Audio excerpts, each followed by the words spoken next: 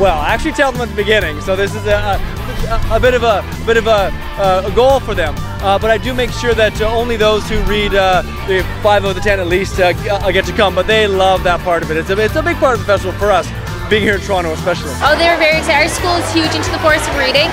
We had um, half of our library was a big display at the beginning of the year of the Forest of Reading books from last year that came in that they did leave the library.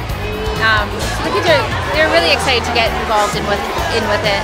Oh, they that's the first thing they ask me in September when they come in because that's that's the most exciting trip for them. Yeah. Well, they came last year and they had a really great time, so they were very excited to come again this year. Oh, I can't even explain. She was up at 5 a.m. She got my husband up at 5 a.m. and she was super excited. I don't know. We just arrived and she and her friends disappeared. So I assume they're having a great time. It's been great. It's too bad it wasn't sunny. oh, it's great. Uh, my son came last year and he really wanted me to come this year and check it out, so it's awesome.